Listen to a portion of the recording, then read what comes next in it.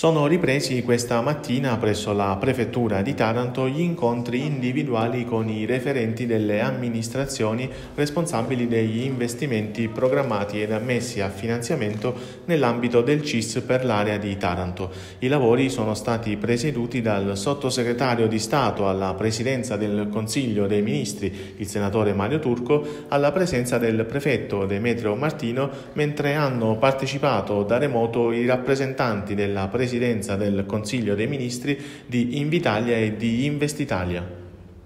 Sì, allora noi anche oggi eh, lavoreremo su due fronti, ossia accelerare quelle, eh, quelle, operazioni che erano ferme da diversi anni e, e tratteremo eh, sia eh, l'affidamento dell'ospedale eh, San Cataldo, eh, poi avremo l'incontro molto importante con Mittal e i commissari Ilva sulla questione delle acque reflue ed inoltre avvieremo con una serie di imprese che hanno manifestato interesse a investire su Taranto un percorso di accordo di programma per favorire insediamenti produttivi nuovi in economie diversificate che permetteranno eh, di creare nuove filiere e nuovi livelli occupazionali. In particolar modo oggi approfondiremo sia alcuni settori industriali del biometano, andremo poi ad affrontare eh, la questione un, della creazione di un depuratore operatore all'interno dell'arsenale militare dove vi è un interesse di una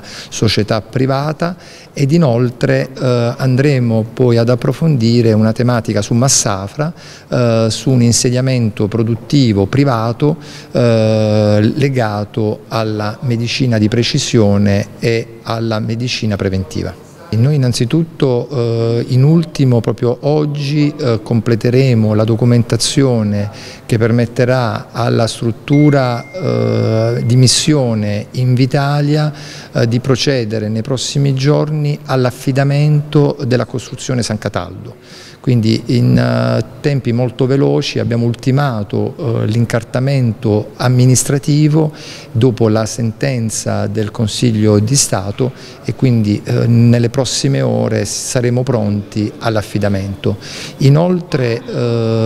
tra qualche settimana siamo pronti anche ai primi affidamenti per quanto riguarda eh, la riqualificazione della città vecchia. Abbiamo ultimato eh, le bozze dei bandi, li stiamo esaminando e quindi eh, presto l'amministrazione comunale potrà a questo punto procedere con gli affidamenti eh, delle riqualificazioni di quei palazzi